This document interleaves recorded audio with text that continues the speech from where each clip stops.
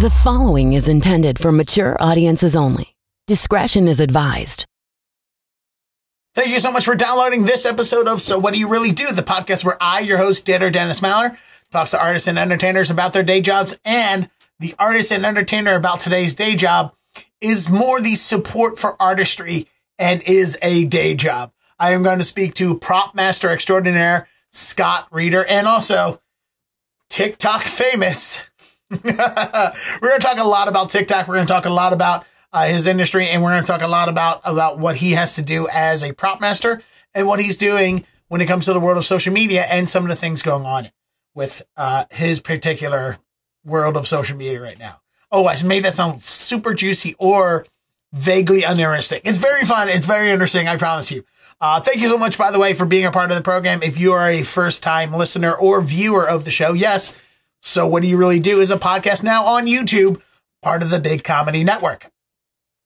Thank you so much for being here. I appreciate it if you're a first time viewer. If you're a returning viewer, I also appreciate that. Thank you so much for being a part of it. I ask you one thing. If you're having fun, if you're here for someone that you really enjoy, you want to support them. If you have found anything in one of my episodes remotely interesting, what I ask is that you please leave a review on iTunes, Spotify, Anchor. Am I on Anchor? I don't know. The network now takes care of that stuff. Anywhere you're listening to this podcast, please leave a review. You can be honest, even if you if you had a problem. Uh, I'm sure somehow those reviews help with the algorithms. I don't know. The almighty algorithm. All hail the algorithm. We're going to talk a lot about the algorithm in this podcast. Oh, okay, maybe not a lot, but it comes up. Uh, it might also come up most of the time when you talk to me because I have uh, a disorder that is not fixed by medications, and I obsess about a lot of things, and I uh, frequently obsess about the algorithm when it comes to social media and stuff. Not that I want to, not because I have to, because sometimes I can't help myself. oh, by the way, if you are a fan of my stand up, or if you want to be a fan of my stand up, I'm going to be performing in not one but two comedy festivals coming up this fall. Uh, in October 22nd to the 29th, I will be in Plano, Texas. It's right outside of Dallas for the Plano Comedy Festival. I've been in the festival before, uh, and I had to drop out uh, back in 2018 because I couldn't make it all the way out to Plano at the time because I was unemployed and working as a full time entertainer, and I had a broken car and not the money to fix it. Uh, so I had to back out of it in 2018. I did perform virtually in the Plano Comedy Festival during the pandemic. I was lucky enough to be some of the selected performers, uh, some of the performers in that uh, 2020 season, uh, and I had a great time. And now I'm actually getting to go out there and see a lot of my fans uh, who are also comedians in Texas and around the country face to face yet again. So it's going to be, or some face to face for the first time. Ooh, we might be podcasting with some pandemic friends when we get to Texas. Ah, we'll see. Okay. I just did a 13 year old girl scream. Ah, it's Taylor Swift. Okay. Anyway. What accent was that? That was like a 13 year old girl who's got a southern accent. Okay. Guys, I'm a little punch drunk and a little loopy from a lot of work and not a lot of sleep. Dude, I honestly, look, I've changed my outfit. I'm wearing, oh, hoodies are always hoodies. I'm wearing a baseball cap today in my house. It's, it's fall in New England, so it's 58 degrees outside, and I am wearing a hoodie with shorts and sandals because I'm an insane white person. That's what I did. That's, yeah, I'm one of those. Okay. Also, I'm wearing my Hello Corridor Crew uh, Adobe Premiere Media Not Found shirt. You can find one of these. We talk about Corridor Crew in the in the podcast. It's a coincidence. I'm wearing the shirt while talking and edit. Literally, I'm editing the show. now I'm talking about it. Uh, I love the guys over at Corridor Crew. Uh, hopefully, maybe one day I'll talk to one of them and have one of them on the podcast. Niko, Sam, Wren, any of the guys, Jordan, come on the podcast. Let's talk. I want to know about the business of digital effects. All right, I'm very ADD distract on this, and I'm positive I don't have ADD.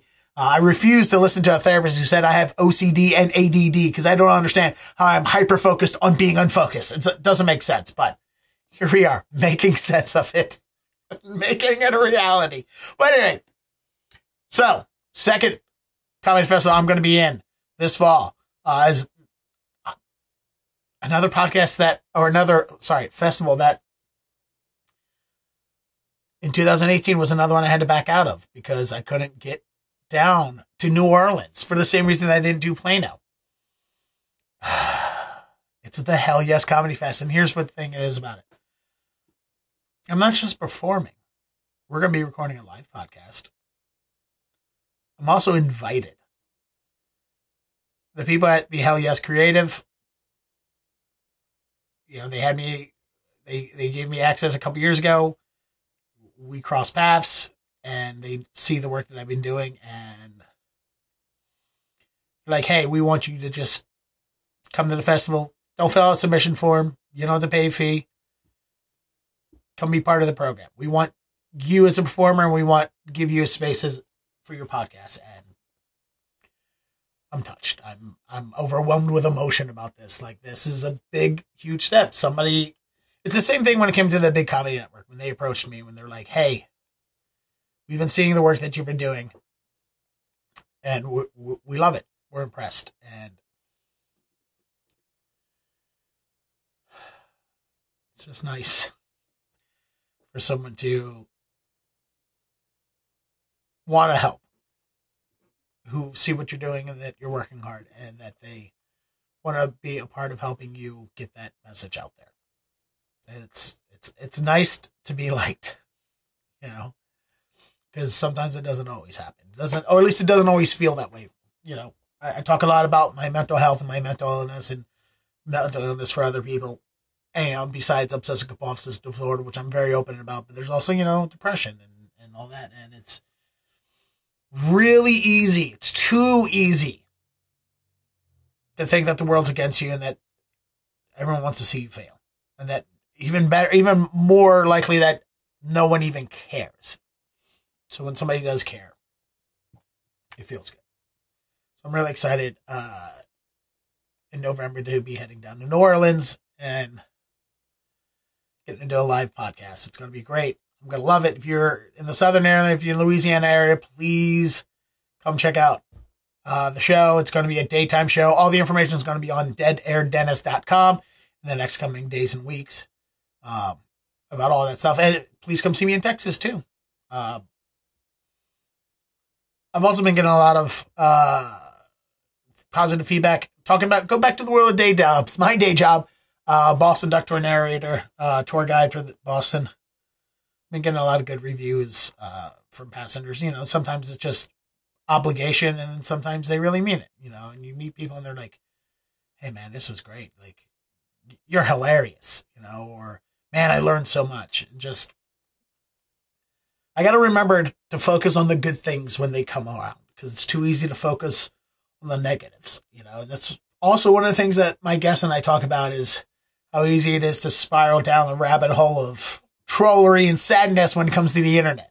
So, but please go ahead and check out deadairdennis.com. A lot of information is going to be coming to the website over the next uh, few days and weeks about the Plano Comedy Festival and the Hell Yes Comedy Fest in New Orleans. It's going to be a good time, and I'm really excited for it. So, anyway, my guest. Ooh, not a pandemic friend, which I know has been a con- constant spin here on the podcast. But it is uh, a man who I have not yet met in person. It is a man, much like former guest of the show, uh, Jack the Whipper, Jack LaPierre, uh, who was a previous guest, uh, famous for being a Renaissance Fair performer and, you know, made it big on TikTok. Jack and I still haven't met in person. Neither have my next guest, Scott Reeder. He's a, a prop master in Austin, Texas.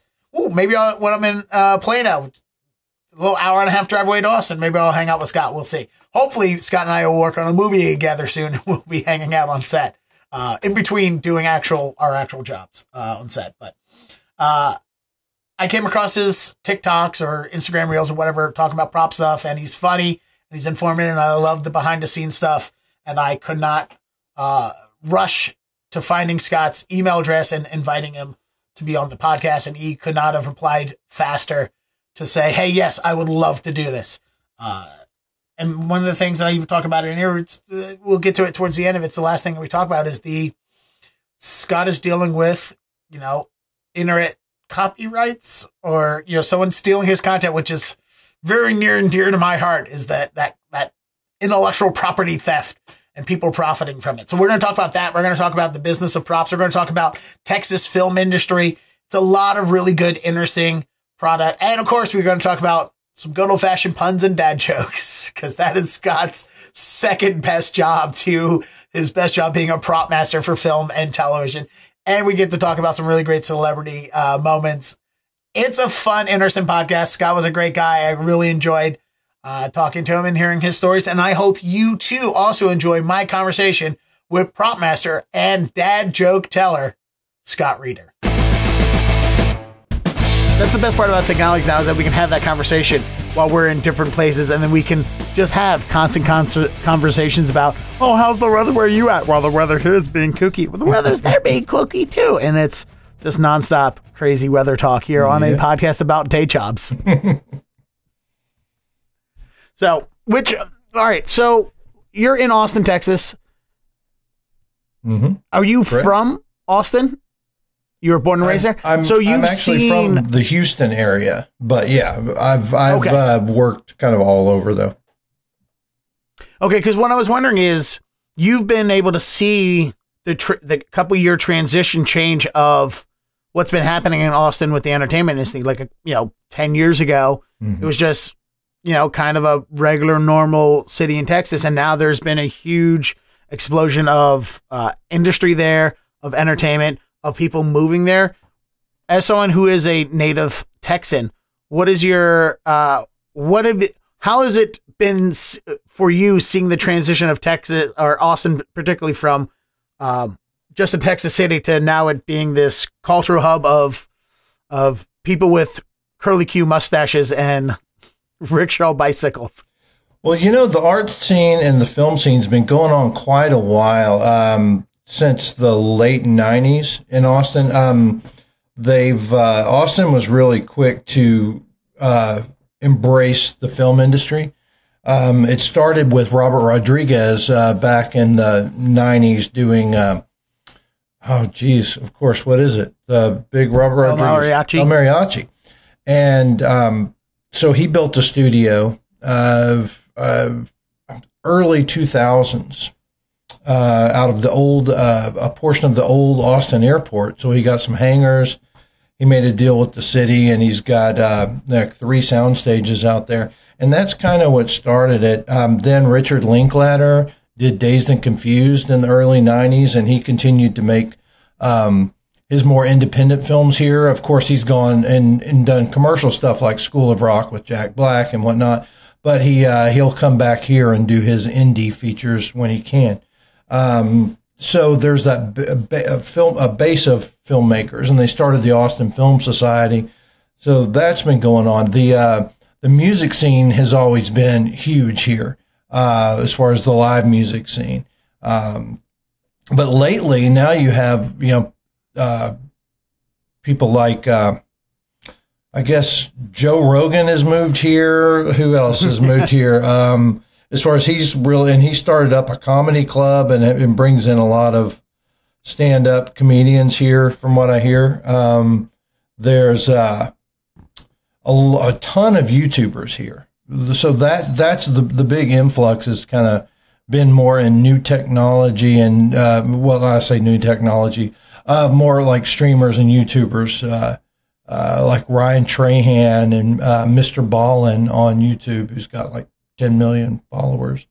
Um, you know, so it's yeah, it's been interesting watching it all uh, how it's all unfolding. Well, the most interesting thing that to, to see is with how big Texas and Austin itself has exploded with that during the COVID nineteen. A lot of people left Hollywood during that time frame because there was more open uh, or l- less laxed uh, restrictions to COVID and masks and stuff in Texas. So a lot of them moved there. So you've been watching this boom. Do you think, other than you know, with COVID in 2020 and and that, is there anything else you think that has caused a lot more industry to move to Texas? Because even as a comedian, I've been watching how much bigger the industry is looking at the comedians in Austin area, whereas before, like New York, L.A., Chicago, San Francisco were like the biggest comedy hubs for for industry to start pulling people. Now they're definitely pulling people from Austin, Texas, and they're definitely looking at people there. So do you think is it? Do you think COVID ex, expanded or excelled rather, or in, i- increased the speed of industry moving there, or do you think there was other factors involved? I think that that was one of the contributing factors for sure. Um, there's also, I guess, it's uh, may, maybe there's business incentives. Um, uh, a lot of uh, some film industry vendors I talked to who were considering moving here just because of the uh, environmental restrictions they have. Uh, I know it's getting a little off topic from uh, comedy, but there's a you know I. Uh, I do a lot of videos about what we use in the film industry, you know, uh, stunt props and whatnot. Yeah. There's a company that does breakaway glass, and the um, the environmental business restrictions uh, of operating in California were just getting to where they're like, well, we're you know we may have to move out of the state you know, to to be able to continue to operate.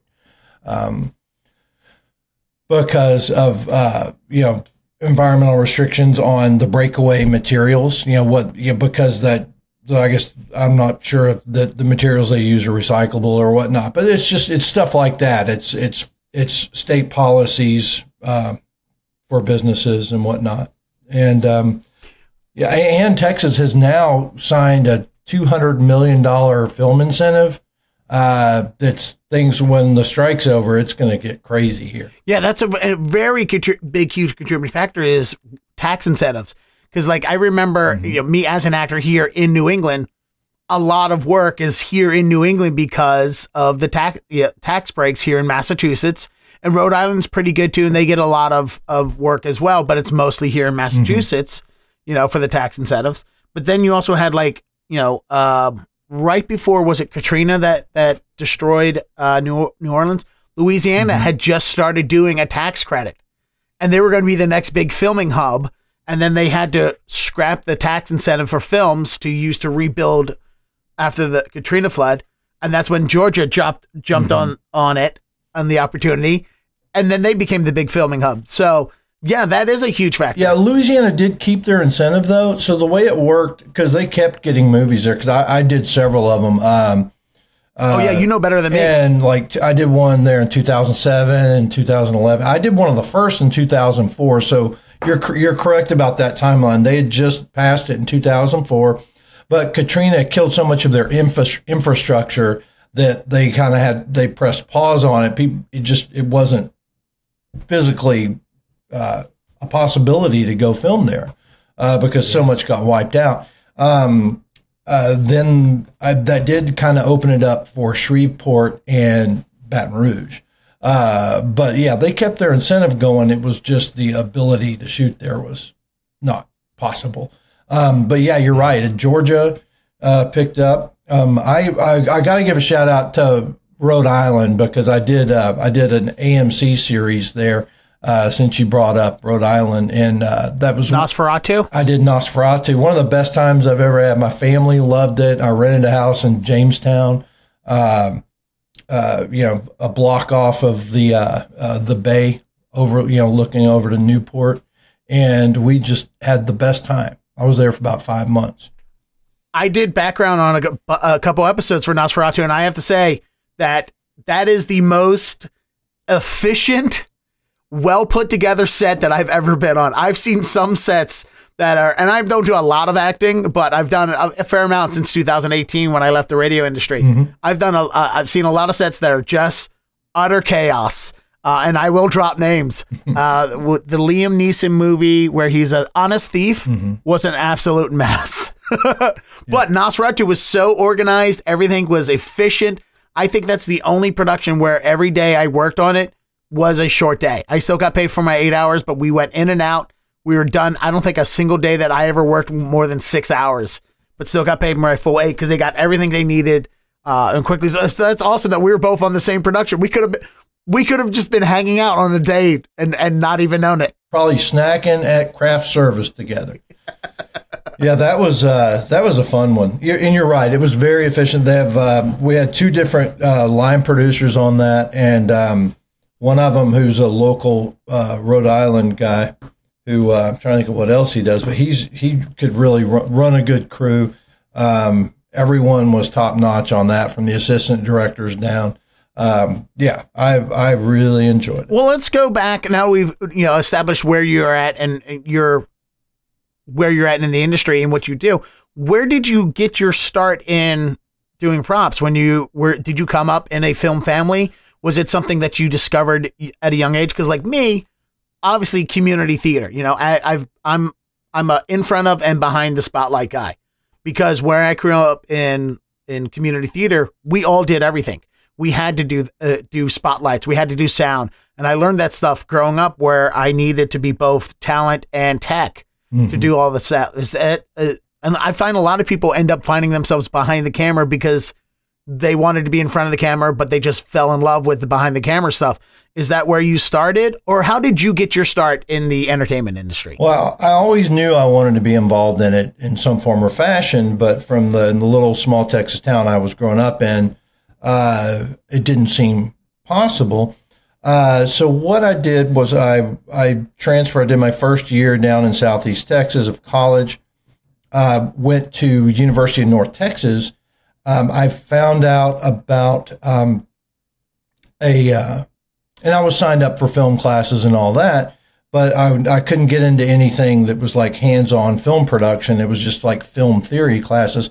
So I found out there was a, I got really lucky. There was a movie filming in town called Daddy's Dying, Who's Got the Will? And this dates me. This is like 19, that is a title. 1989. Um, yeah, it was a movie with Judge Reinhold, uh, Beverly D'Angelo, you know, from the vacation movies. Vacation movies. Uh, who else? Beau Bridges. Anyway, it was it was fun. Um, but I found out they were filming at a hospital. I was uh, working some alumni event. Um, and I I met the hospital administrator. That's how random this was. And he said, "Oh, you know, they're filming at my hospital on Monday. You should come by and check it out."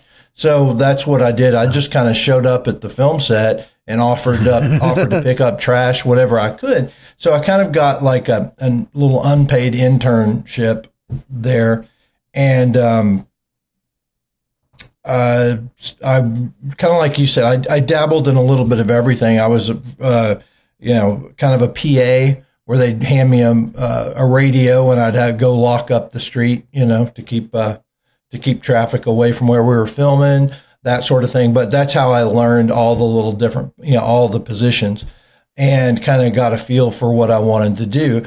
They were shorthanded in the prop department. So that's how I ended up working props on that show. Um, but I did, I did a little bit of, you just got to be proactive. I went and, uh, I uh, got a uh, an internship with the uh, film commission, the North Texas Film Commission, and that was strategic because they're the first ones to get the scripts. So if a producer's coming to Texas, they reach out to the film commission for photos of locations. So um, so I would know about the productions before they would come to town, and then I could get my you know resume on the top of the stack kind of thing. And um, that's kind of how I got started. I did, I worked on karaoke videos, uh, helped do casting for that. I did worked camera. Um, you know, I, I, like I said, did a little bit of everything. I was the camera PA for the Bud Light film crew in 1993, where we traveled, uh, we, we filmed in like 150 bars, um, over the course of the summer. That was my job right out of college. So, uh, yeah, I just did did a little bit of everything. Oh well, there's probably 150 bars right down Sixth Street, right there in Austin. we, we yeah we hit a lot of the Sixth Street ones too. yeah, you just go down door to door to door to door. Mm-hmm. Yep, Shakespeare's. I remember. So that's amazing that you got started just by going to a set, uh, unsolicited. Is like, hey, I want to work in the business. I'll do anything because mm-hmm. definitely not a way to get into the industry now with the way security is, way background checks are. Yeah. I can't imagine somebody just walking up to a random set and like, "Hey, I want to work here," and somebody going, "Okay." Yeah, well, you know what you, what can be done though, you could still do that, but you can say, "Hey, you just got to know who to ask for."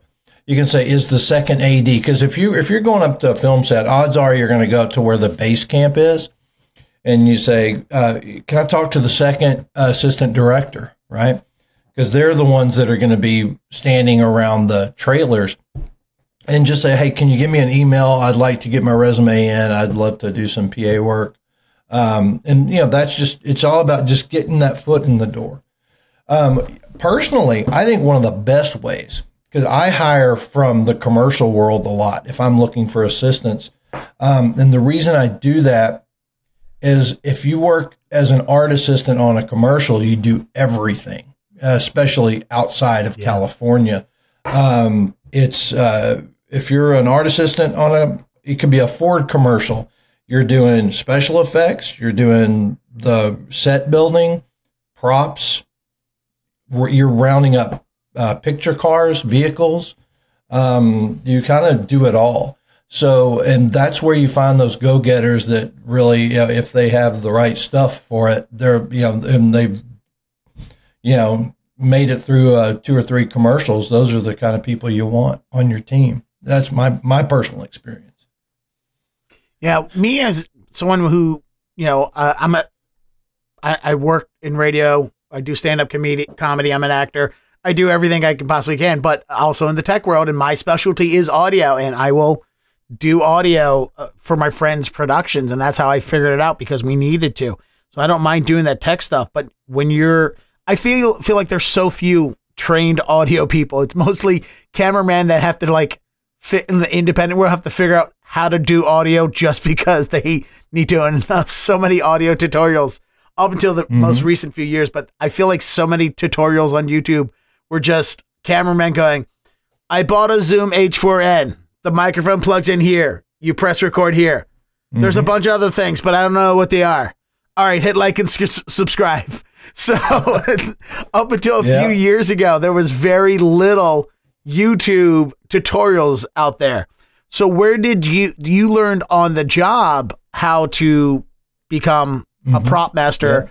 Yeah. Um, so prior to the internet as you were growing up because you're a few years older than me you grew up pre-internet world mm-hmm. was there a resource for you to start figuring out how to create your own props create breakaway glass what was the source of information for you for learning well while i was a senior at university of north texas a movie came to town called necessary roughness i'm, I'm skipping some stuff but um, I, I, I got in with the um, because I had a little bit of prop background. I got in with the prop master, and I learned a lot from him. And I was with that same guy for years uh, as a prop assistant, prop buyer, and that's how I learned a lot of the trade. And it really started with it was a football movie called Necessary Roughness back in 1991. Um, and I ended up doing all the props for their second unit photography, uh, everything on a football field, basically I was kind of a glorified football trainer. But I did work other scenes than that. That's where I learned, uh, you know, about breakaways and stunt props and all that. We had bar fights and everything. Um, I also, but the whole time, you know, we're all, I mean, I'd say, I bet 25% of a film crew, if not more, are all aspiring writers and directors. So, you yeah. know, I was, uh, I wasn't necessarily wanting to act or be in front of the camera, but I wanted to write and direct. So I wrote and directed a feature called Boondoggle back in 98, where I made a deal with, I was working on the Walker, uh, the Chuck Norris Walker series at the time. And I made a deal with the producer where during our hiatus, I could use the camera package. It was a, a 16 millimeter Arriflex. And, um, I just had to pay the insurance on it. It was an incredible deal. So, in Panavision agreed oh, huge to deal. That's awesome. And uh, so, you know, I did the festival circuit with it. We never got distribution, but it was an incredible learning experience. Um, but that's where I I learned some sound on that. I had uh, I borrowed somebody's. Remember the Nagra? Oh, is that the the the Nagra recorders? Is that the ones that the CIA used to? commission, and then after they would commission a new one, they would release the old one? Well, all I know is with the Nagra, it was it was what we used to record sound on, you know, for low budget independent films. It was a Nagra recorder, and um, I uh, I borrowed it one weekend because I was lacking a lot of Foley sounds, you know, that I needed and uh, I just ran around town just recording sounds. Like I needed like a wheelchair banging up against a cabinet, and I would just just running around recording Foley, and then the rest we'd get from a sound library. But uh, um, What's funny is with all my videos, I've done all these, you know, TikToks and YouTube shorts. Um, and I've I've done a lot of videos about how the props that I use, that Foley artists are what make my props sound good, you know. And uh, I've become friends with like two or three established Los Angeles Foley artists, uh, and that's all they do is they you know they go through and record you know all the all the background Foley. Um, not just background, foreground foley too. I guess uh, you know footsteps, footsteps. Uh, you know, uh, smacking from you know fists. You know, during a fist fight. Uh, you know, glass breaking. They do all that. Uh, and to this day, I've never in person met a foley artist, but um, what we do is so intertwined. You know, as far as what I try to provide on the day that we're filming. Um, we don't have time to go in and get those little, you know, uh, those little sounds. But what how we help the foley artist is we'll have silent props, like uh, we'll have silent grocery bags so they can record yeah. the dialogue um, uh, and get a clean you know clean cut of dialogue, and then the foley artist will go in and add the the rustle of a grocery bag where it's controlled. Um, you know, if we're in a bar scene, I'll have, you know, prop pool balls, you know, painted racket balls that look like billiard balls, but they're not. Uh, and that way the background can be playing pool and uh, it doesn't step on the dialogue. So you were working for another prop master. When did you decide to go on your own and create your own prop company? Well, you know, I uh, it's really not really you don't have to have a prop company necessarily. I did start a prop shop when I moved to Austin, but that was separate. I, uh, um, I just kind of, I got a call about my, uh, my old boss wasn't prop mastering as much. He was, he had moved over into set decoration. So I had, um, I'd gotten a call about a movie back in 2001. And I think that was my first movie to prop master was in 2001 and uh, and I just it's just kind of word of mouth. I just started getting calls to prop master, and then when uh, I gotten out of the business for a little while, and I worked as did marketing for Landmark Theaters in Dallas. Uh, decided that wasn't for me, and I got jumped back into production 2003, and uh, and just started prop mastering at that point. Well, first, let's explain the difference between what a set decorator is and what a prop master is for the people listening who are not involved in the industry and don't know what the difference between that would so, be. So, prop master does everything touched or held, right? It's anything touched or held. If you can pick it up, you know, Coke can, your phone. Um, set decoration is like a painting, you know, something hanging on the wall, uh, a couch, um, you know, a rug um, if it's you know part of the set to, to fill a room with furniture, um, that sort of thing. Um, there are some like gray areas sometimes, like if if the scene is two furniture movers moving the couch, I guess technically the couch is a prop, but that's not that doesn't happen too often. um, and and there are gray areas. It's just for those repossession commercials. Yeah, exactly. there you go. Yep. Um, but yeah, it's uh, th- that's the difference. Is the set decorators they dress the sets, the furniture, the wall hangings, and the prop master. Uh, if, like say if it's a, a, bar scene, I do all the glassware. I do all the breakaway glassware. If there's a bar fight, if somebody takes a chair and hits it over someone else's head, I'll get with the special effects department, or I'll just hire someone to make a balsa wood chair. Um, that that sort of thing. If it's a, a, shoot, if it's a shootout, you know, if it's a gunfight, I'll provide all the prop weapons.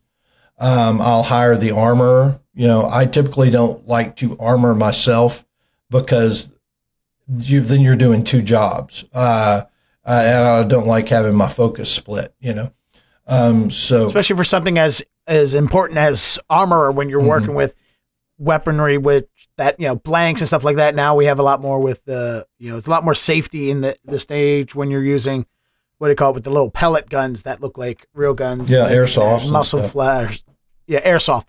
You can add muzzle flare, uh, muzzle fire, and flare and smoke all that in in the but still, part, yeah. it's still a very. And I think as we all learned with the movie Rust, uh, how important it is Mm-hmm. to be on point with paying attention to what's going on with the the armor has to be very uh, much in charge of what's happening with the weaponry and be on set paying attention to what's going on and experience goes a long way Oh, for sure. um, so i can understand where somebody would like yeah i don't want to pull my focus away from safety because somebody who's worried about you know th- that we need a couple extra pint glasses that'll be broken on later on or whatever it is so yeah it does sound like a lot uh, Uh, in general. That set decorator, props, and on-set effects people work a lot of hand in hand you because you guys have crossover in a lot of your equipment and what you guys do. Oh yeah, we it's all about communication. We just talk. We you know we have meetings ahead of time and say, oh, I'm doing this, you're doing that, you know, or you know, or do you want me to do this for you? Um, that sort of thing, you know. And you know, we just work together. It's, it's like I said, it's all about just communicating and making sure you're not doubling up or that something falls between the cracks. You know, you, and uh, yeah, we we uh, for television. You know, one, one thing is there's a big difference between prop mastering for television versus a feature film. And I love doing both, to be honest. When I do a feature film, I'm on set more. If I'm doing television, I'm in perpetual prep. I'm always prepping the next episode. You know, so I'm in director meetings, I'm in concept meetings, all that. Uh, and so I'm not able to be on set as much. So I really have to have a very strong on set assistant prop master that is dealing with the actors and working, you know, you know, working the set. But if I'm on a feature film, I've done all the prep ahead of time and I can spend more, you know, a lot more time on set, you know, one on one with the actors and the director. For you as a prop maker, or prop master, we talked uh, a lot about breakaway glass and certain props that are, you know, the the safety prop as opposed to a hero prop, do you make a lot of that stuff on your own, or do you have to order most of it from a? Where would you order it? Do you have to try and find this stuff? Well, it depends on the show. I mean, uh, I did a show called Revolution for NBC where I had an in-house fabricator. I hired a guy that his office was next to mine, and we had a fab shop where, you know, we had every actor got captured at the end of every episode, and they'd lose their weapons. so we were constantly designing new weapons for every episode. So we were just churning them out like a factory, be it swords and guns and whatnot. Um, if it like the show I'm doing the reboot of Walker, uh, currently, well, I say currently when the strike's over, we'll start back up. We finished in March. Yeah, is that the one with Jared Jared Padalino or. Padalano? Yeah. Padalecki, yeah, from um, Supernatural. Supernatural Um, and Gilmore Girls. Yep. And uh, he's a great guy, by the way. And I'd worked with him on uh, uh, Friday the Thirteenth, uh, the the reboot of that in two thousand nine. Yeah, I've heard a lot of people say that he's super nice. He's actually really good to work with. In fact, a friend of mine has been doing some uh, small roles on the Walker reboot before the uh, pandemic or before the strike hit. Yeah. So what we um, what we do on that show is um, hundred percent airsoft. Uh, so we, we rely on visual effects to handle all the uh, muzzle flash and shell ejection and all that. Um, I occasionally have to have something fabricated. Uh, it just depends on the script. Like, um, uh, oh man, like it could be syringes, um, a, a fake um, block and tackle, like a big chain thing that with a hook in a warehouse where I had a bad guy try to hit or hit hits Jared with it. Um, so I'll find the block and tackle, have it molded. I have there are several people here in town um, that are really good at molding, and I'll hire them. I I just don't have time, you know, as far as I'm, uh, or even uh, I don't even have the manpower to do it all in house. So I'll hire I'll hire someone on contract to make uh, specific, you know, specialty props kind of thing.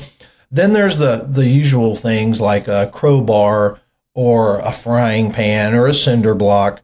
Um, Yeah. That there's there's like there's a several companies that that sell that stuff.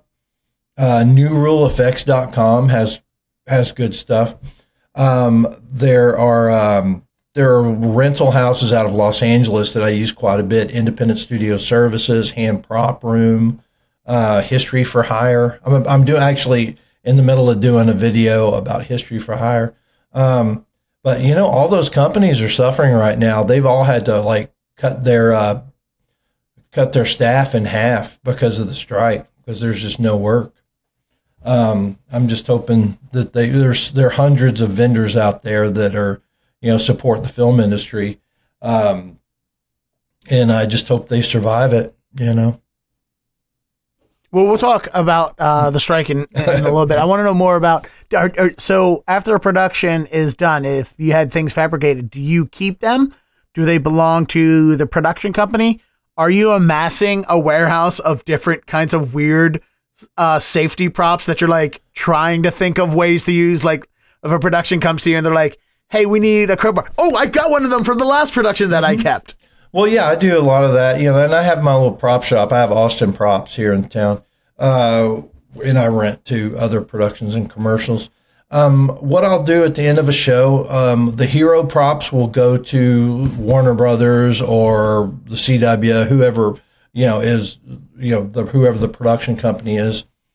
Um, and then they'll often do a sale, or I'll like make an offer and say I'll pay you such and such amount of money for this batch of stuff. You know, um, you know that's that's kind of how I amass stuff. Uh huh. You know, like I made. What's your favorite prop that you've gotten from a production? Like one that means something to you? uh, you know, there was a something I've kept with me for years and years uh, on necessary roughness. We had. Uh, I'm not a big, massive sports fan, but I definitely, being from Texas, I appreciate football. Um, but we had a scene where we had all these great like Hall of Fame football players in to play a Texas prison team, right? So I grabbed one of the footballs with permission from my boss and had all of that, all of these great football stars sign this football. And I've, I, I've had it with me ever since. Um, but it's like, it was like Jerry Rice, Roger Craig, Tony Dorsett, Oh, uh, Randy White, uh, even Evander Holyfield, the boxer, was he was in that scene. Got him to sign. There's Dick Butkus, all, like a lot of old, big, great, you know, players. Who else? Herschel Walker, Judge. Oh, what is it? J- Jim Kelly. Yeah, Oh wow, okay, yeah. Uh, it was just that's cool. So that's less a prop that you're gonna use on a different production. No, that just sits that- in your yeah, office. of course, yeah, that yeah. That's just something Yeah. I've carried along with me. Um, I feel like I ended up with one of the prop uh, Texas Ranger badges that Chuck Norris wore. Um, that's Oh, kind of cool. cool. Um, uh, that's kind of pretty much it. Everything else I kind of recycle and repurpose. is what is the the strangest or the weirdest or the most difficult prop that they had to get you to source? Mm, well, see, that's kind of difficult because I've done a lot of, a lot of productions. A lot of it is the time. You you have so little time to do it. Like with Revolution, where we were making swords. Oh, this is this is a funny story. I did a movie called Machete. It's a Robert Rodriguez show starring Yep. Danny Trejo. Uh, but we had like we had some big names in it. Um, what De Niro? We had Robert De Niro in it and uh, Steven Seagal. And uh, uh, he would not. We, there was a scene where he's in fighting with a samurai sword. And when I showed him the swords I had for that scene, he was like, "No, no, no, no. Uh, that those samurai swords, uh, they're like toothpicks in my hands." And so That's, that's- sounds exactly like something Steven Seagal would say. that was those were his exact words. They're like toothpicks in my hands, and uh, I told Jack Black that story, and he like then he started doing that same impression. Toothpicks in my hands, and uh, he really said that. So we had to make him jumbo samurai swords at the last minute. That was kind of tough. Uh, but I found a guy uh, that would make make them. Uh, out of all the Seagal stories I heard, that's the most delightful one. Because I've heard a lot of bad stories about Seagal. Well, I could say more, but I don't know. You know, he's what wasn't the easiest person to work with. Let's just say that. Uh, well, uh, you know, honestly, you know, and a, that goes a long way on set. Like, I, I think that's that's no new. Every, everyone knows that. yeah, and then you know that's being easy to work with on set goes a long way, and I can honestly say that from from personal experience. I was mm-hmm. working on the TV. I was doing background on an episode of Castle Rock, mm-hmm. which was a Hulu mm-hmm. uh, original series about that takes place in the world of Stephen King. Mm-hmm. And I showed up because I'm a I'm a, a, a, consummate, always early kind of guy. So I show up early. I'm just doing background, right? I don't. If I don't even show up, they don't even care. Like it's you know background. They don't care about us in any way, shape, or form. But you know, we are as important to the movie business as everyone else. Mm-hmm, so I mm-hmm. show up early, sure. like super early, and they're like, "We're not even ready and holding for you yet. Go have lunch, right?" So I go over to, to catering. You know, I'm standing there on my plate. They're doing like to make order, uh, like grilled, grilled food to make order. Mm-hmm. And when a guy comes over and he's frantically, you know, trying to get his food and he can go back to to getting set up, and he didn't have a plate, and they're like, plates are all the way over there. He's standing here at the food, and he's like, "Oh man, I gotta get a plate." I'll be right back. And I just turned and went, "Here, take my plate. Your food's ready. My food's still a couple more minutes away. I'll walk over and get a new plate." And he's like, "Are you sure?" I'm like, "Yeah, no, here, take the plate." So he gets his food. I get my food. We sit down. He comes up to me. He's like, "Hey, what's going on, man? How you doing? I'm so and so. I run the sound department. This, that, whatever." I was like, "Oh, cool. Nice to meet you." You know, and we're talking and, and back and forth. He goes, "So what are you doing on the production?" And I went, "Oh, I'm just working background today." And I just watched the look on his face just drop because I what I get from the scenario was he was like, "Hey, here's somebody who's really cool and nice. He must be a crew member. Mm-hmm. I want to work with him again in the future because he seems like a nice person." And then when he found out I was an actor, you could just be like, oh man, I wanted you for crew because you were a really cool person, which goes a long way. That's how a lot yeah. of people get you work from work to work. As I'm sure you can say, attest to, is that if you're easy to work with, if you're you don't even have a, like if, as long as you're just a pleasant person to be around, they're gonna want to mm-hmm. work with you again. For, sure, for sure, as you can attest. Especially in a smaller film community, like you know, because because I'm I'm very familiar with you know with Rhode Island, Massachusetts. They they all know each other. They're all buddies. Mm-hmm. And if you're if if if you're not easy to work with, people will not won't call you. You know, it's you, you've got to build a good reputation, and you know, as someone you don't want to make someone's life more difficult. So who wants that, right? So you just you got to be someone that can you know work well and make make others' lives easier. You know, you don't want to you know, let people walk all over you, but you also want to, you know, you want to play nice with others, you know? But yeah, it's a good point. It's a small, uh, you got small film communities all over the United States, and you got to, you know, keep, uh, keep up your good name. Being in Austin, uh, do you travel? Like, obviously, you've mentioned you've come up here to New England. You know people in LA. I'm sure you've done productions across what do you think the percentage of your work is travel and how much do you work in Texas and how much work that is travel that you turn down because you don't feel that it's worth moving? I turn down a lot of out of state work. Um, I've turned down numerous Georgia. You know, I've never worked in Georgia. Um, I've just been fortunate to be able to work here a lot. Um, when I have gone out of town, like when I went to Rhode Island, that was a favor for a very good friend of mine who's a line producer mm-hmm. um, that had done a show here. Um, I'll I'd say twenty five percent I do out of town, seventy five percent I stay home. So that's that's the way I like it. You know, occasionally I'll travel, not too often. Like the last you- the last out of state job I did was 2019. I did a uh, you know a show uh, was called Breaking News in Yuba County in uh, Mississippi. Okay.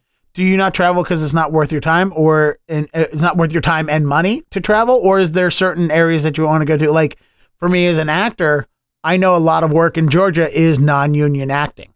Mm-hmm. You know, I don't know about the crew side of IATSE side or, or, or Georgia or anything like that, but is it do you do you try to avoid certain areas because it's it's not going to be. You don't want to contribute to bad business practices. Oh no, nothing. It's all about family. I'd much rather be.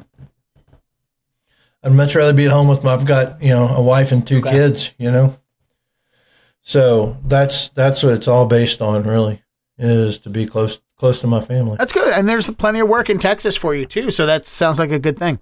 Um, so let's talk about the strike because you've done a couple episodes of of your shorts, um, talking and discussing the the strike, and like there was a really great uh one you did where a bunch of prop masters and set decorators took over a parking lot and just did like an open house. Which I love that. Like I Yeah, would have loved to have been there and party. checked that out and walked around. It was fun. Yeah, A tailgate party. You called it like a, a set uh, a 'em- prop prop tailgate party. Yeah, it was because everyone, uh, you know, that was when the writer strike was really hitting and there wasn't any work in LA. Uh, everybody had their trucks parked at the same place. So we just had a big tailgate party. And uh, I was supposed to be doing a commercial that week and then that fell through. So I just said, I asked my wife, I said, hey, you want to go to LA? so we went. It was a blast. I really enjoyed Well, it. for for right now, since you're not able to work because of the strikes, because of two other unions right now, hmm where how how much of a strike? And you don't have to talk about personal finances. I don't want to know all that. I'm just wondering in general for you as a business owner who's trying to find work. Are you trying to find more work with the small few approved programs? Are you waiting it out? Like, where is it with you as a small business owner in this business that's that's paused because of not what you want to do? Yeah, luckily commercials can still shoot. Um, I I got a big commercial in July, which really helped. Um, so I've done two commercials since the strikes hit, um, and then I filled in with uh, you know I, I still get some rentals um, to those you know interim agreement productions. Um, and I've been, you know, making content, you know, as far as, uh, you know, with YouTube and TikTok, and that's helped, you know, helped a bit as well. And, uh, yeah, just kind of scratching it up where I can. but yeah, I've got some rentals. Like I said, you know, there, there, there are some commercials still shooting, um, in town. So that, that I'm making rentals on that. Well, then also you, you know, transitioned right perfectly into my next conversation piece is the social media stuff. Were you doing these TikToks and YouTube shorts? And of course, I see them now because I I'm, I'm subscribed to you because I saw your your post about, and we'll we'll talk all about the imposter thing in a moment. I want to know the creation of the social media uh, aspect of it. Was this pre-strike? Uh, already were you already making these short TikToks for social media before the strike and you Oh, yeah. amped it up or did you start because of the strike? Oh no, I've been doing this. Uh, I started because of the pandemic. Yeah, I started out just doing dad jokes on TikTok. Um, yeah, my daughter was always on TikTok, and she, I was like, "What are you doing?" She showed it to me. I downloaded the app, saw some uh, old guys uh, attempting to tell dad jokes, and I was like, "Well, I can do that." So I ended up getting a following of about a hundred thousand followers on TikTok just with my straight up dad jokes. Um, then I got back uh, uh, when things loosened up uh, after during the pandemic. We started uh, back on the. It was an Amazon series I was working on, and I one of my assistants said, "Hey man, why don't you do some stuff about what we do? You know, tell tell your audience about the props." And I started out by just busting a breakaway bottle on my head or whatnot. That was um uh, August August of 2020 when I started doing the prop videos.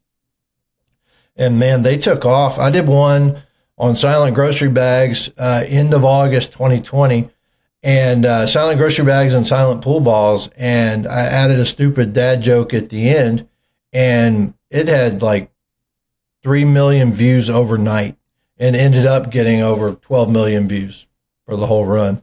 It was insane. And that's, and it just shot up. That I was, you know, with within a year, I had a million followers on TikTok. Now I'm at 1.7 million, about to hit a million subscribers on YouTube. I say, I mean, I'm at like 830,000 subscribers on YouTube now. Um, and you know, just doing that. I don't have any big brand deals or anything, but, uh, but, uh, you know, It's been fun. Well, I like that. That's what the, shows that you're an innovative person, you know, and that because you work in entertainment, so you can see what the other things are. There's so many people, especially around our older ages. You know, I'm 42. You're a little bit older than me. You know, it's very easy for people of our generation, of our Gen Xers, to look at TikTok and go, "Oh, that's dumb dance videos, and I don't want to be a part of it." And mm-hmm. you're not part of that. You're innovative. You're changing with the times, which is something very necessary in our business because you know what? You could be a stickler about whatever resin goes into breakaway glass when there's a newer alternative, and you can just sit stern and just go, "I'm not changing whether the product's better or not. I don't care." But Yeah. you know, as somebody being in the industry, yet you have to follow i- innovation. So it's I'm glad that- that you saw, hey, what's this new thing? All right, let me see how I can use it, and let me see how to make it mine. What's funny is I'm, I've never really typically been that person to uh, grasp on the new technology that easy. Um, uh, it just kind of it, it just was a happy accident it, the way it worked out. Uh, luckily, I'll say luckily the TikTok platform was so easy that I I mean it wasn't difficult. I didn't get frustrated and quit it. I was like, oh, this is pretty easy to throw together. Um, and then I just kind of started embracing the technology. Then I figured out other ways to where I didn't really like the editing of, uh, like, I didn't really enjoy editing in the TikTok app. So I found another like editing app for my phone called InShot. I really like it. And, um, and I learned, you know, to kind of that inside and out. And I'm, I'm not a master editor at all. I really, I really kind of suck, but I know enough to put together a cohesive, you know, little video. All right, and now this is where I'm curious about. When it comes to props and the dad jokes, the corny puns at the end, which concept comes first for the video? Do you go, oh, here's an interesting prop idea, and then try to find, write the joke about it? Or do you come up with a joke and go, oh, I'm going to use that joke in a prop video about bags now? You know, what's funny is people assume that that's the case. The joke does not come mm-hmm. first. The joke comes, I mean, mm-hmm. I, I come up with the subject matter of what I want to teach people about. You know, this is what I want to talk about. And but I'll I'll sit and chew on it for a couple weeks if I can't find a good way to to to send it home. You know what I mean? I'll I'll just mull over and try to figure out okay, how can I work in the joke at the end? you know, because it's expected now, right? Yeah.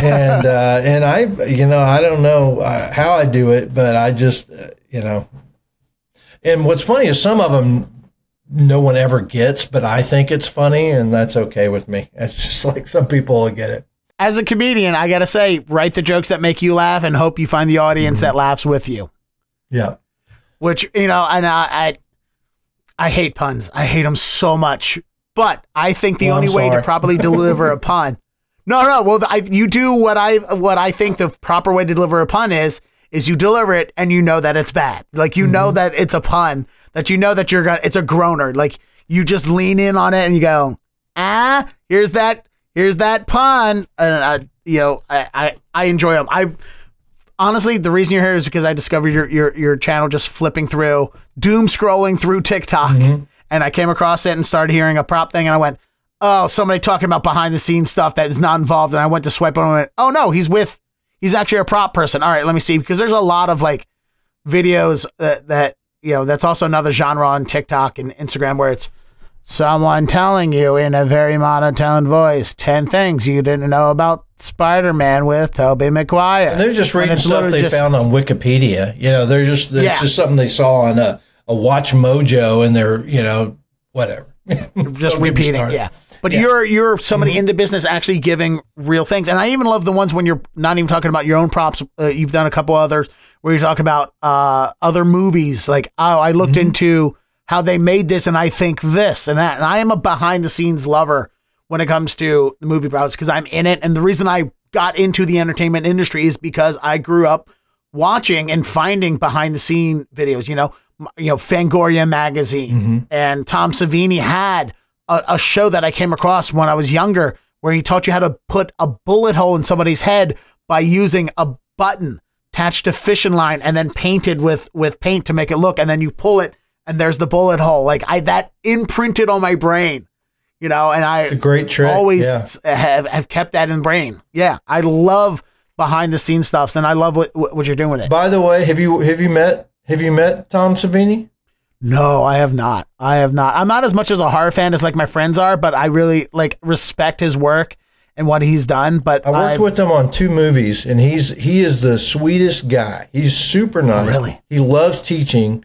Uh, he's just just a good good human being, good person to be around. I really like him. what were the two productions you worked on him with? Planet Terror. It was uh, Robert Rodriguez, Rob, and uh, it was that was part of the Grindhouse it was part two of the movie Grindhouse. with him and Tarantino. Yeah, yep. And then uh, and then what was the other It production was other than it was oh Machete. Machete? Okay, yeah. I mean, yeah. yeah. so you worked with him in all the Rodriguez productions. the Rodriguez, that uh, makes sense. Yeah, That's Yeah. awesome. Is there uh, who is your favorite? Like who? Like I always talk, and I've written jokes about working with Chris Evans, uh, or as I say in the joke, Christopher Evans, because we're that close that I use his formal name. Um, I I talk about how nice he is, and like how I have a whole bit about how if women, if you really like Chris Evans and you want to catch him. Just have a cute dog and walk around set because I've seen him get distracted by dogs so much, and uh, and he is uh, actually a really nice guy and i've met a lot of really nice people. Who is the who is the nicest person you've met on on working in your productions? The nicest i don't know. I really uh you know who i enjoyed the most talking to? I mean i've met a lot of people. Um i'd say frances mcdormand. Right it's hard to narrow down. Like i have a small pool of things. Like I, you know going back to NOS4A2 during lunch one day um zachary quinto in his full monster makeup came over during lunch and just tapped me on the shoulder and said hi i'm zach and then we just talked while we're in the buffet line. And I tell that story is like, here's another story of somebody actually being nice and human. But you were saying Frances Frances McDormand. frances mcdormand. She was she's uh joel coen's wife uh but she's been in Mhm. uh, she was the star of fargo. Um uh, what else? A lot of the cohen brothers movies. Uh she's awesome. Uh really enjoyed her. John krasinski was really fun to work with um you know from the office. Um i'm trying to think you know uh but i've worked with some old like i really liked ernest borgnine but he's uh uh he, he passed away a long time ago. Uh ernest borgnine is an old you know he was he won the oscar for a movie called marty. He was uh in the wild bunch. Oh you know i will say um i really do like john krasinski. That's he's one of my favorites uh from the office Yes. and he's married to Emily Blunt, and she was on set. Uh, you know, Uh-huh. just she was there to hang out. It was uh, a show I shot in Pittsburgh that I did called Promised Land, with uh, directed by Gus Van Sant, and uh, Okay. Matt Matt Damon and John Krasinski wrote the script. So I had to, uh, uh, and I think John probably wrote most of it uh, or a good a good portion of it because he's the one I would go to when I had questions and everything. And he was just the sweetest guy ever, just wonderful to be around. He he made a big point of introducing me to his wife Emily Blunt, who I just worship. She's just so awesome. Um, and uh, but they they make a good team. Um, but yeah, I've uh, yeah, I was Chuck Norris was my boss for eight years. He was pretty cool. Um, that was a great um, a great time. Was that's where I learned to learn the craft. Was in the 1990s on Walker Texas Ranger. Yeah, that's a weird. Like saying I work. Chuck Norris was my boss for eight years is definitely a sentence not a lot of people can say. And my only regret is I uh, he he never punched me. I, I can't say he, I, I I just like one roundhouse kick, please. You know, just so I can say Chuck Norris kicked my ass. You know, but oh well. Oh, that's great. I mean, there is sometimes you want people to be, you know, you, you want them to fall into that role that you that you have in your head about them. You know, like I got to meet John Astin, uh, who is one of my like all time favorites. You know, Gomez Adam from from the Oh, Addams yeah. Family was a TV show I grew up you know watching in reruns. I didn't watch it originally, but I watched it in reruns. You know, and then I just restarted watching the the Adventures of Brisco County Jr. Uh, Mhm. because writer strike. I got to find something to fall asleep to, and that's going to Oh, be now Brisco County. And just grew up watching John Astin and so many things, and I got to watch the Addams Family musical with John Astin on like a private uh, sh- uh, pre- daytime preview before it went uh, public, and I just wanted him to be weird, and all he was was just nice. I can't say anything bad. My only disappointment was he didn't say anything weird or, or kooky or give me a weird, crazy eye look like he would as Gomez. He was just like, Yeah. "Oh hi, how you doing? Nice to meet you. I'm John. A- I'm John Adams." Like such a nice, sweet little, sweet little 92 year old man or whatever, Yeah. however old he is. Yeah, I heard So- nothing but great things about about the man. What is the uh, working on set? So for people who are listening and they're not familiar with the behind the scenes stuff, talk about a little bit of the hierarchy on set because you were just saying that you have to go to John Krasinski for all of uh, your questions when you're making that movie. For let's talk about the hierarchy structure of conversation from pre-production to production. And I don't know, is there a lot of post production work done with propping? Uh, a little bit. There, uh, well, well, I'll get to that. So Yeah. uh, basically, uh, for let's keep it to television for now. So what we'll do is I'll get a script. Um, I'll do a do a breakdown, list all the props. I'll have a director's meeting. I'll meet with the director and the writer. You know, and nowadays it's Zoom call, and I'll I'll I'll have sent them my list so they can refer to it as I'm going through the script and I hit every scene, and I'm like, okay, is there, what are you really thinking for this, or do you, does this work for you, or you know whatnot? Um, I don't do a show and tell just yet, so I, I it's it's the early conversation of what do you what do you want to see here? Or are we going to try to make something simpler, uh, simplify it in any way for TV? Um, and you know, so that's the initial conversation. Then a couple days later, I'll have a show and tell where they physically come into the warehouse. I'll have everything laid out, and I get their approval, and I get their thumbs up on every single, you know, what we call a hero prop. And a hero prop is something that is significant and to the story. You know, um, not not I'm I'm not I'm not worrying them with background, you know, beer mugs. You see what I'm saying? Yeah. It's all you know the hero stuff, and uh, and if there's a if there's a particular gag or um, a fight scene or something, I'll show this is what I'm going to use. This is the rock we're going to hit the guy over the head with, and what do you think? Do you like the size? You know that sort of thing. And then I'll submit a budget. So there's that's part of the hierarchy is I'll let the line producer know how much this is going to cost. And if he doesn't like what he sees, he can go to the director and the writer and say, hey, you're going to have to trim somewhere because this is how much Scott says it's going to cost. But that rarely happens because I kind of know what my pattern is and I keep, I try to keep everybody happy. I try to keep the producer happy and the, uh, the writer and director happy as well. And at the same, if it's a big food scene, uh, I'll call all the actors and say, "Hey, do you are you cool with eating whatever is you know is scripted?" Uh, you know, I, I I get to where I'll know all the food requirements for all the actors. You know, who the vegans are and who who is uh, you know who will eat anything you know. Jared, Pat- or- Jared Padalecki will eat anything. How does he have such a good figure then? I don't know. That dude can eat. I I watched him eat six hamburgers like it was nothing. And he just he's just always moving. He's always working out. He's always burning the calories. You know. So. when you're doing uh food scenes there's you know i know from behind the scenes there's a lot of you know there's there's a bucket you know because somebody eats something that you don't want everybody to, you can't sit there for 18 takes and keep Mhm. eating and eating and eating so there's a lot of biting and spitting That's Uh, probably more feature world. In TV, we we Really? only do one or two takes. We Okay. ha- we actually we always have a spit bucket on standby, but we rarely use it. It- It's not that often, unless it's something that someone really doesn't want to be eating. something nasty. well, I, well i love the recent one i just saw the other day of you uh showing people how to make fake eggs uh I just For- yeah, that was a new one. Yeah. I wasn't a new one. See, that's I- the problem. posted See, I don't Friday. with TikTok. You don't know when things are posted anymore. Like there, Yeah. there's no timestamp on them.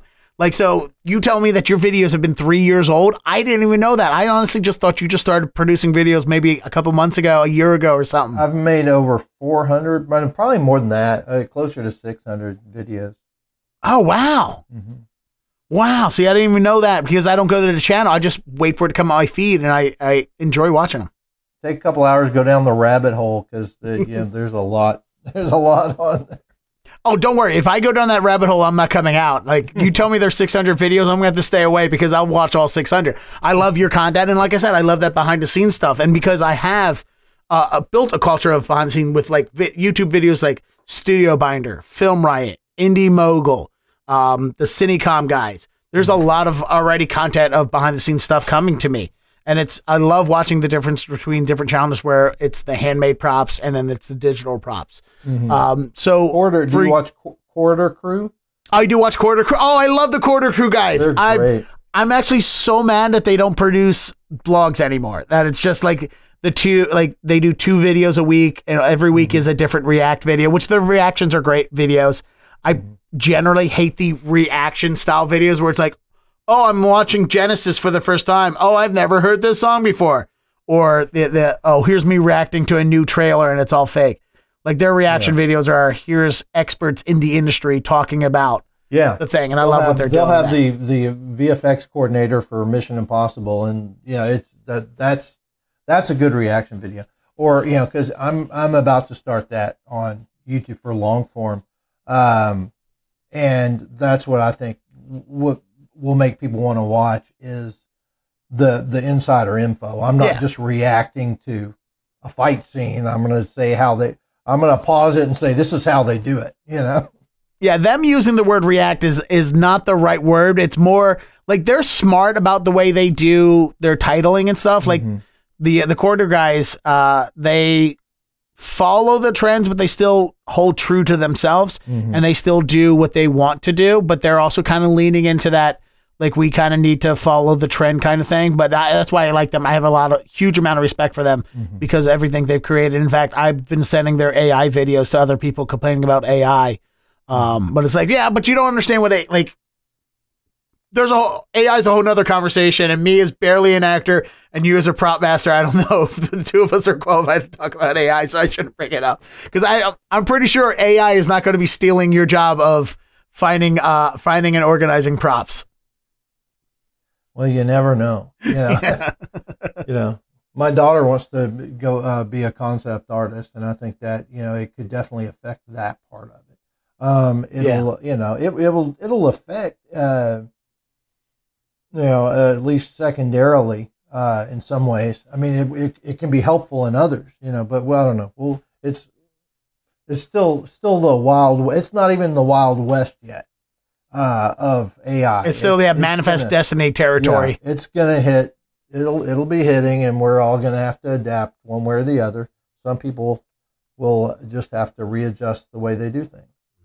Yeah, and also like there's it, it should be used as a tool. It shouldn't be used as a replacement. Like we've been using AI is just the next level of machine learning. And Pixar has been using machine learning to fill in the keyframe between keyframes of their animation for decades almost, probably for almost 20 years. Like I think the second Toy Story movie used machine learning to fill in frames between uh, key poses. So there's already a point where software is taking nah, taking away. I mean, that's what in you know early animators were doing, where they were doing the keyframe the poses, you know, just the frames, the, the drawings in between the keyframes. You would hire a new right a new artist to do that, and that's how you work your way up. No, now machine learning has replaced that position.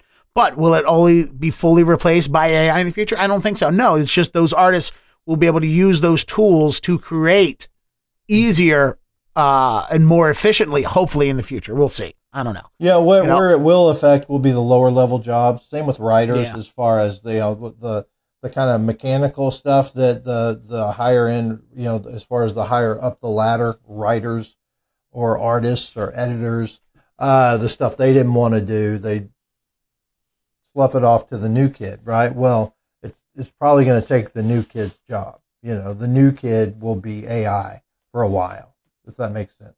Yeah. Now, are for since we're talking about unions, and I know there's a lot of different unions based in the industry. As a, is there a prop guild? Is there a, is there, are uh, uh, for you as a prop master? Is there a union or a group that you are a part of or can be a part of? I'm in the union. It's uh, it's IATSE. It's international, and Okay. that covers that covers makeup artists, gaffers, uh, camera camera people. Um, See, I knew IATSE covered cam- like camera, sound, and those people. I didn't know if it went full to like Mhm. I'm. I'm new to knowing it covering prop and makeup as well. It uh, it does. Now there are separate guilds as well. I mean, uh, we I I'm one of the founding members of the Property Masters Guild, which is more of, of kind of a lobbying group to kind of get the you know let people know that we exist, kind of thing. But but it's not a a, a collective bargaining group. Uh, the collective bargaining group is uh, the know, as far as they do the you know the contract negotiation. Now. IATSE is supporting WGA and SAG. Mhm. Uh, are there is there collective bargaining coming up soon as well? Is that a thing that where we they supported us on our on our strike as a SAG member? They supported us, IATSE.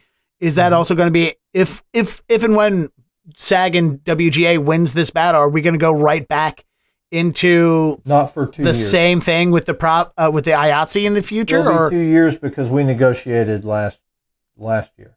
Okay, so they're two years away. So there's a potential for two years uh, where we're all back to not working again. Uh, Uh, I, Which- it won't be like this. This is, you know, this will set the precedent. You know what I'm yeah, saying? Yeah, you think so? Mm-hmm. Yeah, because I mean, that you know, we for the longest, you know, after you know the the you know Reagan set the thing in the what what 66 or whatever it was. It was a long time before a long strike like this, Mhm. whatever it was. But uh, I don't know. It's it's worse. I'm like I'm barely a part of anything. Like right now, honestly, I owe SAG money. I'm I I owed back dues, so I'm not even a part of the strike anyway. like they only, I literally have to pay a thousand dollars just to be able to go down and be a strike member at this point. Oh wow. Yeah. yeah. No, I am. I mean, you know, not, not everybody had you know a good time during the pandemic as much as I did. Some of us fall fell behind. We're all working to to Oh, catch yeah. up still, but. Uh, so what is uh, for is there an expansion do you feel like when we go back to work do you feel like your company is at the base for expansion like are you going to expand your property uh, your, your prop mastering and hire on more people or do you think you're able to continue at the same level of your business as it is now Well, you know, I'm only one person, so I would I will continue to prop master and then have you know my regular team. I, I might try to expand expand the prop shop. Um, I I definitely want to keep up with the videos. I I enjoy doing them, uh, and see how that goes. Um, uh, there's a big incentive in Texas, so you know it would be a good prime time to expand. The problem is. Uh, I'm waiting to find out if the state of Texas, the way it's been previously, is they vote on the incentive every two years. So it's hard for the state of Texas to build an infrastructure, like start Uh-huh. building studios. Like Atlanta, they've got long, a long Georgia has a long term deal, right? So Okay. people are, are building brick and mortar businesses and studios there um, until they can get a long term agreement with the state of Texas. You know, it's it's it's hard to make a long term investment in Texas film industry. Does that make sense? No it makes total sense So, because so uh, i think that to the, see what what the outcome is, and if if you know because what happened to us a few years ago uh, in 2017, it's like a different group of lawmakers came in uh, who did not like the film incentive, and they chopped it from 100 million down to 36 million. So Oh, from geez. 2017 until now, it's been a 36 million dollar for every two years. Well, now it's 200 million because there's a different group of lawmakers in. But what's to say in two years there's not a whole nother regime that comes in and says, no, we don't like that. You know, we don't want, you know, don't, we don't want to be giving money to the Hollywood liberals. That's what that's that's typically what they say. No, that makes total sense because like here in Massachusetts, our tax credit I think comes up every four years. So just me being here 10 years, I've seen two, at least two, I know off the top of my head, at least two or three uh, different votes, uh, you know, supporting like, make sure you tell your representatives to keep the tax incentive, which, you know, that makes sense, dude. It's hard to want to expand your business if you don't know that there's going to be business in the next couple of years. Like I said with New Orleans. That's why they need to come up with a way to do because I feel like Georgia came up with a way where they have like something that's like a ten year guarantee or something. And with when you have that kind of guarantee, people are going to say, "Oh hell yeah, I'll build a studio there. I'll open up my sound design Foley studio in Georgia or whatever it is." That it's yeah, but it's it's a little difficult to take on a you know a four year lease on a building, uh, and when you don't know if in two years it's all going to go away. You see what I'm saying? No, I totally understand, man. Oh, yeah. I'm sorry. I could talk about that crap for hours, but I mean, I'll listen to that for hours. That's a like that is part of our industry is sometimes worrying about that longevity of things. Like, and it's you know uh, for the people in front of the camera, there's also you know a, a, a, a longevity when it comes to age and looks and stuff like that. Like honestly, right? Me as a radio personality, a comedian, voiceover actor, and an in-person actor, my voice is incredibly important to me. And I have never, ever in my entire life lost my voice, with the exception of being sick. I have never taught out out talked my or outshouted my voice until May of this year, until June of this year, when I started working for a tourism company here in Boston. We do there's these vehicles called duck boats. They're amphibious vehicles from the Mm-hmm. Yeah, from I'm World War II that We've we drive around the city and in the river in. And up until about two weeks ago, I sounded like this since for the past three months, just doing nonstop tars and so. doing it and talking. And for my biggest fear right there is losing my voice because that's I've built my entire life and career off this uh, terribly, incredibly cavernous and also nasally sounding voice at the same time. It's raspy, it's bassy, but it's also nasally. It's uh, sounds like a truck of screaming babies screaming into the night, uh, screaming as they crash into a nitroglycerin factory. But it is my brand, you know. And so I, you know, I can't change my brand to Harvey Fierstein. You know, I can't switch those things over. So the uh the, the last thing we're gonna to talk about is actually what really inspired me to contact you about the video uh, doing this podcast episode because a I haven't talked to any prop masters and I love to talk about people about the jobs that not only that we have to do as artists to support what we have to do, but I also love talking to the people who have to their day jobs is supporting the industry of entertainment that we have to do. And we talked about the the YouTube your YouTube channel and your your Facebook and the Instagram and uh, TikTok and all that. And what really inspired was seeing the video about someone impostering your account, stealing your videos. And I am a one man raging war on the internet trying to stop people from stealing videos. Like so much of TikTok right now is just people stealing old episodes of Family Guy and just putting the clips out and getting millions of, of likes for it. And I don't understand the it's people that like the people that I get the impetus between I'm just going to steal videos and put them out there instead of creating content. I get that. Like cover bands exist for a reason.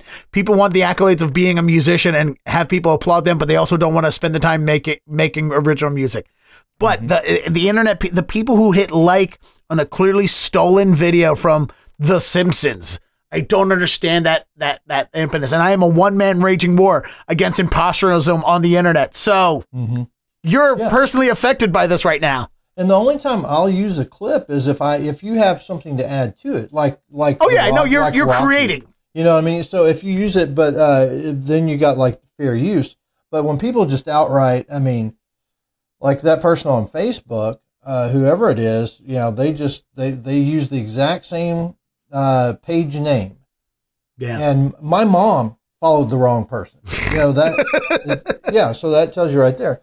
And you know, Facebook came back with, "Oh well, uh, we can't take down a fan site." Well, that's that's not a fan site. You know, it's like they they've copied the name, and they posted sixty six of my videos. I mean, I mean, uh, there's no, you know, it's just theft. You know? So how did you find out about the theft page?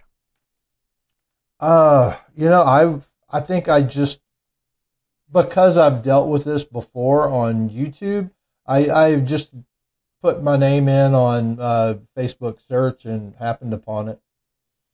But it So that is something you're aware YouTube. you were being aware of. You were looking in your own se- in your own safety and self interest. Oh yeah, there's there's like six different TikTok pages, but none of them had blown up like the, like this person.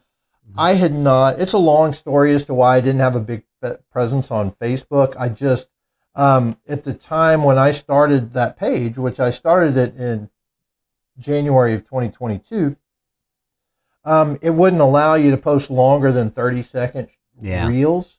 So most of my reels were over 30 seconds. So I was like, well, I just didn't mess with it. You know, I posted a few of my shorter ones, but, um, but then apparently, I guess it, at some point they opened it up to where you could post longer reels and, uh, that person jumped in this last, uh, uh, June.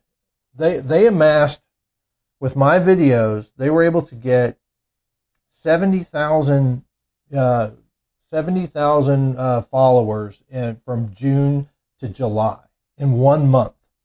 Jeez. Like, why can't that work out for the people like you and me that are creating things like, yeah, I've had, you know, I, you know, I, I tried selling you on the podcast by dropping big names in my podcast, and some of my big name videos go nowhere. And I'm like, there's no likes, there's no shares. And I'm like, all right, so I just brought you a great interview with Lewis Black, you know, oh, on a clip on TikTok, and it's mm-hmm. get 12 views. I'm like, but then my friend who's a bouncer at a nightclub, his clip gets, you know, 2,000 views or whatever. You know, I'm just making up numbers. No, but there's no rhyme, no reason. It's it's weird. I, I've yet to be able to figure out the algorithm. I yeah, just, there's no rhyme or reason why things happen. And it always seems like the people who don't deserve it, it's not about quality of content either, because I've seen terrible quality hmm. content up there Oh, yeah. thousands of thousands and millions of likes and stuff like that. So it's not quality.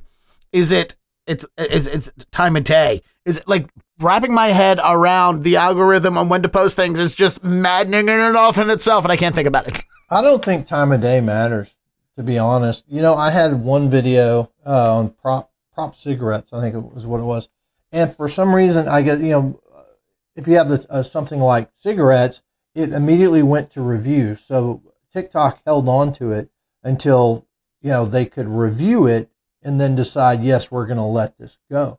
So I posted it at like 7 p.m. Right, um, and they didn't they didn't release it to people until like 4 a.m., which made me really mad. Yeah. It's like, really, you're going to let this? out? I'm like, no one's going to see it, but people saw it. I mean, by by 5 a.m. when I woke up, it had a you know close to a million views. I was like, yeah. So there's just no a rhyme, no reason to it. You know, so I don't think it matters when you post. I think consistency and throwing stuff at the wall to see what sticks. Um, I think having something that's kind of sensationalized uh, uh, helps. Yeah. Uh, always, yeah. Something that really makes people laugh. Something that um, uh, that's short. Uh, you know, like the some of the of the shorts, like 10 second videos, tend to just really pop. They don't necessarily. I don't know. I had one where I duetted. Uh, there's a prop person out of California who did this like eight second video about ru- silicone glass, and I did I duetted it and showed silicone glass at the same time. That thing got 27 million views. I didn't necessarily make a ton of followers off of it, but that was a ton of views. Hmm. Yeah, No, and I- there, the, it's the anecdotal i- incidents that just is maddening. I don't know. Sorry, I my, I I have a I have a disorder that's fixed. uh, Not, I have an obsessive disorder that's not fixed by medication. So sometimes you know I dwell on these things unhealthily, and I know it's unhealthily. So at least that's a step in the right direction. It's really trying trying different things, and not and you got to be consistent. You know, it's like you gotta you know keep posting, keep posting, keep posting. Yeah, you know. yeah. It's you are the algorithm also rewards uh, consistency. Also, at the so. same time, uh, they they you know my, my another comedian friend of mine, Will Abels, who is uh, releasing a comedy special. We were talking about his, and he started doing consistent daily videos. And he noticed a change in things, uh, you know, in, in views and and shares and stuff like that. But then he also noticed a difference in his advertisements coming from Instagram, whereas like uh, all of a sudden the advertisements shifted to, hey, are you trying to grow your business? Do you want to learn? Do you want to grow more followers and stuff? So they even know when you're trying to grow your followers that they're going to entice you to grow your followers by giving you ads to and grow. You know, it's mm-hmm. there's there's so much ch- chicanery going on in the algorithm of social media that it oh, yeah. is uh, disheartening sometimes to try and uh, maintain it. But I'm glad that you have a healthy, positive attitude towards it and that you're working your way through it. So, well, but I've been lucky. I've I've been I feel like I'm just lucky. yeah, I don't know. Um, I mean, because I'll try to give people advice on, well, this is what I did, and they're like, well, that's not working for me. Well, I guess every person's different. I don't know. I've I've been fortunate to have some. I mean, to I it wasn't just one video that went viral. I've been able to yeah. kind of keep that going, like one in 10 videos will hit, but you still that there's those nine in between that you got to suffer through and think, what did I do wrong? And then, oh, okay, we got another one. You know, oh, we're back on track. Saying? Okay. Yeah. So what is the process now for trying to get that channel shut down? I know you did a video asking everyone to report it. You've done things. Is there, is there anything else that listeners can do to help? Is there anything that you can do? Um, yeah, I think I just, I need to, uh, hire a lawyer. yeah, that's what I had to do. That's what I had to do on YouTube. I, had, I went through the same thing two two and a half years ago. With uh, there was someone that created a YouTube channel called the Prop Master, and they used my profile picture and all my videos, like uh, forty of my videos, and they same situation. They had amassed about you know just under hundred thousand subscribers. Um, I went in and I did copyright strikes on all 40 of the videos. It took me like a day and a half to do it. Uh-huh. And uh, it, was, it was a pain. And then they still didn't do anything. They left the person up. Uh, I hired a, a lawyer. A lawyer wrote a letter to YouTube. Um, finally, then I did one of those videos like you saw on mine, uh, yeah, where people got on and reported, and the person pulled all the videos down and changed the channel name. I think they got to keep the subscribers, but they they totally, you know, deleted all my videos. All right. Well, at least that's some kind of a win and, and a, a small win, but mm-hmm. it's just disheartening. Like honestly, we you know there's you know I talk a lot about mental health uh, in my stand up because I don't I don't I want to remove the stigma from it, and I can tell you right now, if I'm I have a similar incident. It's nowhere near in the level, but I know what it did to me mentally. Mm. And I applaud anyone who can get through this without curling up into a ball and turning out the lights and hiding under the covers of your bed, just wondering. Like for me, a clip of my podcast, another TikToker took a clip of my podcast, duetted with it. Um, and last I checked, it had 300,000 views, which, you know, and that, but my, my video with that same person has 57 views or you know 57 likes mm-hmm. or whatever it is you know and it's like i literally for a couple days we're s- mentally spiraling out of control yeah. thinking about how this person is gaining off a clip of my podcast but they cut my voice out of it they just used my guest's voice they commented on it they got a ton of likes people in the comments were talking about it but none of the comments were ever coming back to my podcast there was yeah. no increase in listenership and, and there was no increase in downloads. There was no increase the and it, it, it was like I'm working hard for this and somebody's profiting off of it and I did not handle it well. Oh, I mean I've I handled it fine. I'm here today, thing. but it's like I yeah. I obsessed over it for a while uh, and I I can't imagine like if on the level where you're at where where you're actually literally this is your business now, you mm-hmm. know, while we're in the middle of this strike and stuff that this is you know, bringing in some some kind of. Oh yeah, and because of that person, I can't monetize on Facebook. I don't know if they reported me me or something, but it's saying that my uh my material is not authentic, and uh, I'm unable to monetize my Facebook. And, yeah, and that's literally hurting your business oh, financially. Yeah. yeah, yeah. So I think that the person got upset that you know because when I posted that, everyone got on there and reported that person, right? So, uh, and it, and they've got like a, a one out of 10 rating. Uh, and I think they got mad and then they like put some sort of strike on me. I don't know, but, or uh, the worst case scenario is that some of your followers who are like, all right, we're going to help Scott. We're going to go report that guy, and then reported your page by accident. well, yeah, that and that could have happened too. I don't know. um, I think that might that that's you know that's actually a good thought. That that might have happened, but that's that's this catastrophizing OCD brain right there is what that was. That easily could happen because somebody got on mine thinking that they were reporting the wrong as far as on the uh, ratings. You see what I'm saying? Like where you Yeah. where you can go on and uh, kind of like a Yelp rating and whatever. But it, uh, all I know is I do. I'm doing what I can do, and that is post videos on Facebook. I started doing that whenever I found out about this uh, to try to build my page out. Um, and I've gone from 500 followers on my Facebook page to 100, almost 130,000. And I was able to do it in less than a month. Wow. I posted five videos a day to get Oh. caught up to try to surpass the fake me. So I've surpassed I've surpassed the fake me by 50,000, 60, whatever. So Well, I hope I didn't give you more things to dwell and worry about when it comes to the scenario. no, and you know, one thing I will say, it, what, what you also deal with that can mess with your mental health is the negative people, the people that, that are the trolls Yep. that try to try to draw you into a fight. And the best advice I can give you on that is 100% ignore it. Don't give it any fuel at all. Uh, not even, even if you think I have the best comeback for this person, it's not worth it because Yeah. they'll just come back at you tenfold.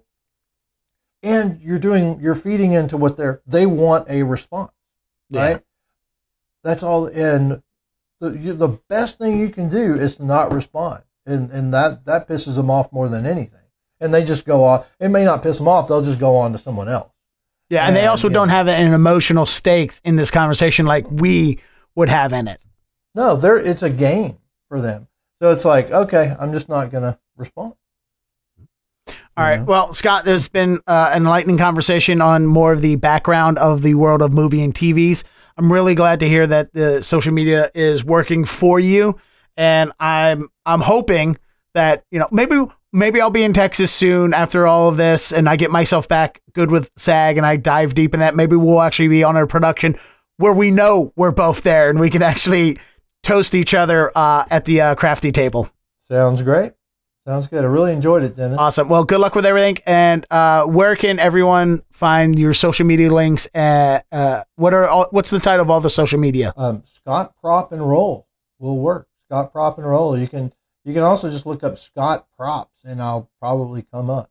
I'm on YouTube, uh, TikTok, YouTube, Instagram, and Facebook. Just make sure it's me. And make sure if you find the other Facebook account, report them. Make sure it's the Facebook page with my picture. awesome, Scott. This was a good conversation. I'm glad we All right. got to have it today. Thanks a lot, Dennis. You have a good one.